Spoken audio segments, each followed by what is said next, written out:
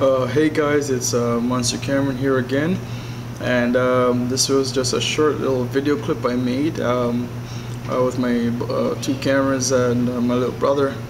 Um, it's just meant to demonstrate uh, the video editing capabilities on Linux. So the cuts were made in NovaCut, which is a sweet new program um, that just got released a couple weeks ago, and then um, some of the effects and the the the, uh, the music uh, was added in uh, OpenShot, so you can get some decent um, video on Linux uh, without having to switch uh, switch over to to Mac and um, Windows for those proprietary programs.